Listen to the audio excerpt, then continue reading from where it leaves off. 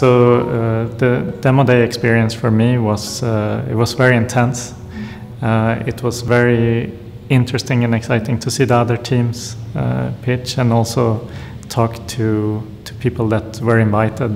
What did we learn during F-LANE? And uh, I think the most important thing is that uh, there is so much energy among the, the other teams and also among in our team that we felt that we gained uh, during this period. And it's also so nice to see all the effort being put in to push women forward. And uh, I think that's, uh, that's our main takeaways.